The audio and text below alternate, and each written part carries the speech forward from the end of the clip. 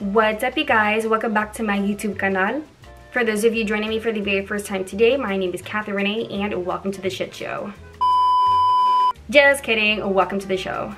Today is Saturday, August 28th, and on today's episode, we're gonna be playing around with the Norvina Volume 4 um, collection from Anastasia Beverly Hills. I'll show you in a minute how she looks like. I'm gonna go ahead and look down and this is just an idea of how to get this look, how to use the palette. Uh, if you guys um, want this, want to create this idea, go ahead. If not, that's okay too. All right, here's the palette. This is what I'm gonna be playing with today. She's kind of heavy, a little uncomfortable, but that's okay. I never really know what to say in the beginning of these things and also I get kind of low-key nervous because I'm just by myself here talking to myself, talking to the camera. Did you guys hear that? Enough about me rambling on. Please like this video, please share this with your friends and your family, it will mean the world to me. And if you guys haven't already, please subscribe to my channel, I would love to have you. And don't forget that hit that notification bell as well. And you guys, what are you waiting for? I have social media, come and join me on there. And with that being said, please enjoy the show. But before we begin, so we're gonna be using the Anastasia Beverly Hills Norvina Collection Volume 4. The colores that we're gonna be using is A3 over here and C4 over here. It could be wrong because I'm like relying on the camera here. And the brocha that I'm gonna be using is a Morphe M153 brush. I did the brush into the palette. I did not dust it off what I'm going to do is just, I'm just going to pack where my crease is. It does not matter where you start. And with the colors, of course, it doesn't matter which color that you begin with, you still will get the same outcome. So I am going to be packing on over here. It does not have to be perfect. And we're just going to build as we go. And we, we are not going to be blending out or anything. It's going to look a little harsh. It's going to look a little rough. But as I usually say, Hermes As I usually say, you have to trust the process. Just, just keep packing. And it's okay if some spots look patchier. It's cool, because guess, guess what? We will be continuing packing on there. I dipped the brush back into the palette. I did not dust it off. Still, still same method. We're just going to be packing it in there. Does not matter where you begin. And it's okay if it comes out like wider or higher than the other eyeshadow because we're just going to be blending her out and as usual we're going to build that gradient. And this is for now because obviously we're going to cut the crease but this is like for you to get like, I, I don't know how to explain it, like to make it look like there's that line before the blend if that makes sense. Okay so it looks pretty even so I'm going to go ahead and jump into the next step. Alright, so the next two colors that we're going to be going in with is E1 and C2 right over here, you guys. You could be saying it wrong, of course. And the brocha that we're going to be using is the Morphe M573 brush. So I did the brush into the palette. I did dust it off, as you guys can see. Um, we're going to be going with two colors, so as usual, it does not matter where you dip your brush in. You're going to get the same outcome. Alright, so with the, the brush dusted off and everything, it doesn't matter where you begin, just start buffing out. And buffing means you're going to use little circles. Take your time, of course. And you see how I'm holding it at the end? We're going to softly blend it out. Because the um, what I've learned is when you hold the brush like at the end here, gonna, you're to get a softer touch. And when you get go close, like if you get closer here, for instance like this, it's to be like more harder. So we're gonna add something really light for now. So back to buffing out. Little circles, you guys. And you may see like the purple underneath there still of what we saw in the crease. And that's perfectly fine, you guys. But just take your time with it. I mean, don't rush either. And if you have this look planned out for something, make sure you practice. I don't want you guys rushing. And of course, take your time. Always trust the process. I did the brush into the palette. I did dust it off as you guys saw. And we will all, I mean, we're still blending out, I mean, buffing out, maybe little circles. So this time I'm gonna do a little harder. I'm not holding the end of the brush anymore.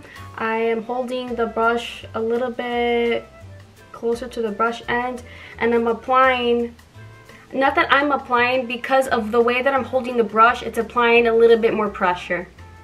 It's not hurting my eye or anything. And if you guys are going heavy on your eye, just please be careful. Remember, you're having an object over your eye. When I do, just make sure you're doing this at your own pace. Doing carefully too. I'm not going to be responsible for anybody out there that's doing it, you know, a little bit extra than usual. But I'm advising you guys to please be careful. Alright, so I'm going to even out off camera. And I'm going to go ahead and cut the crease. So I'm going to be right back, so stay tuned.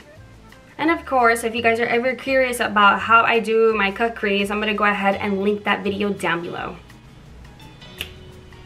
As you can see, I'm done cutting my crease, so we're to keep moving on. We're to be using A3, C4 again. We're to be jumping back in here.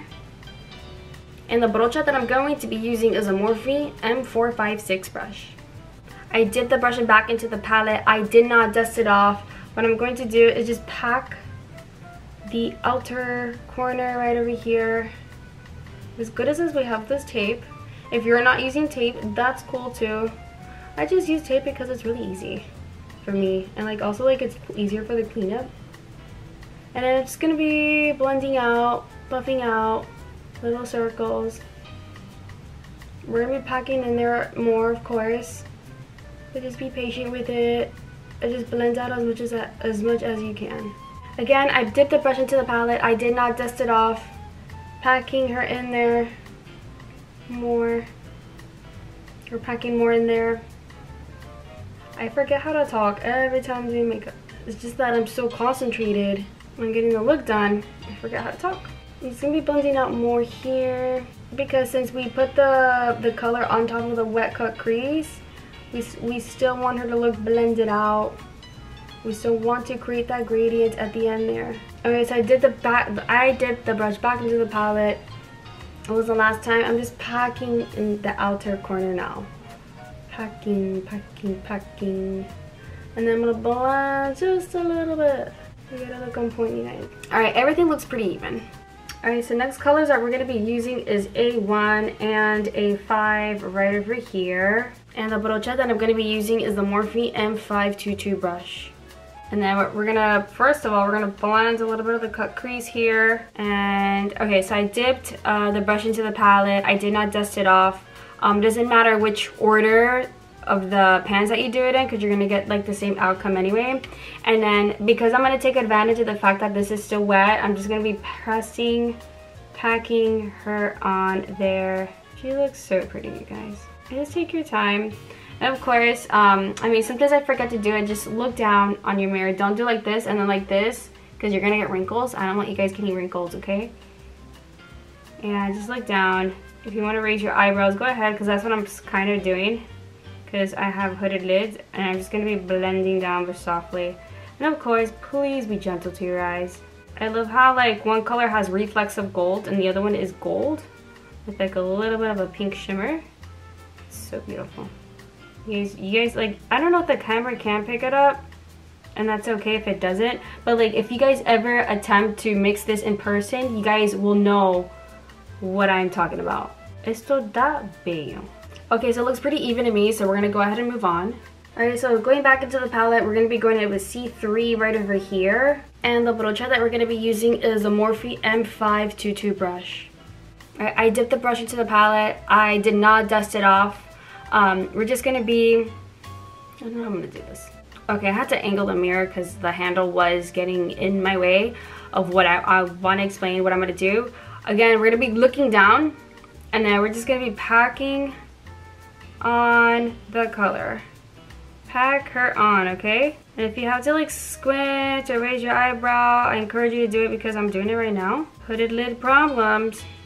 But okay, so now that I, I kind of packed it on there and I'm just going to be going back and forth down. I'm going to start from the top and then go down. Why? Because I want to blend her out and at the same time I'm trying to create that gradient and I have not looked at the camera once. I just want to make sure this is recording or not blurring but if it gets blurred I'm so sorry you guys. Forgive me. We're going to have upgrades soon I promise you guys. But yeah I'm just going to be looking down blending so pretty pretty pretty. Why did I say it like that? I don't know but just ignore me. I just get really excited when we blend. I'm an excited plunder, you guys. Okay, so we pretty much got it to where I want it to. It looks pretty even. I'm gonna do like little finishing touches, like blend over here and over there, correct over here, over there. I'm gonna go ahead and do my lashes and my eyeliner off camera, so I'll be right back, so please stay tuned. And if you guys are ever curious about how I do my lashes and my, I was gonna say mascara, my eyeliner, um, I'll go ahead and link that video down below. And I'll bitch will be right back. And we're back. Alright, so off camera, I went ahead and did my lashes, my liner, also my full face. And if you guys are ever curious on how I do my full face of makeup, I'm gonna go ahead and link that down below. So, moving on. What the fuck is my brush? Alright, so going back into the palette, we're gonna go be going in with C3 and D4 right over here, you guys. And the brocha that I'm gonna be using is from Sigma Beauty, the pencil E30 brush. Alright, so I dipped the brush into the palette. I did not dust it off. Um, what I'm gonna go ahead and do is kind of like tilt the mirror like this so that way I can go ahead and do like the bottom lid over here and I'm just gonna be dragging it across nothing special just watch out if you get in your eye and if I'm making an ugly face I'm sorry you guys oh god this is what I hate sometimes it gets in my flipping eye I went back into the palette I did not dust it off same thing we're gonna be looking up and then yeah you're just building it this is optional. You do not have to do this. I just do it because I like to look complete. And I feel like with my hooded eyes, it looks better. Again, this is optional. I'm just doing it because I like to do it. Alright, so everything looks pretty much even. And going back into the palette, we're going to be going in with B1 right over here. And the brocha that I'm going to be using is the Morphe M441 brush. Alright, so I did the palette into the brush. I'm not going to dust it off. We're just going to be using this as highlighter. Again, this is just an idea. Oh god, this is pretty. This is just an idea on how to use it, the palette and everything else. You know how to use it as a highlighter and dip back into the palette, did not brush it off. And again, as I as I keep saying, it's an idea and at the end of the day, you know, I feel like they were the palette was given to us for a reason. It's just not for the eyes, it's for you to be creative as well. Alright, so I'm pretty much done with everything. I'll do like a few touches here and there. Um, but other than that, I'm going to figure out what to do on my lips and my hair. So I'll be right back. And this is my final form. Right, so those of you that stuck all the way through the end, thank you guys so much. I really appreciate it. You don't know how much that means to me. But anyways, let's go ahead and talk about the palette. She looks like this or whatever. She's kind of heavy. I'm gonna go ahead and, I am gonna go ahead and open her up.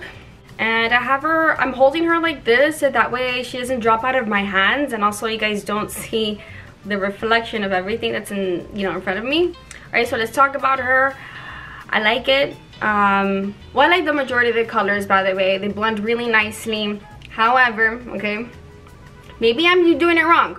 Who knows?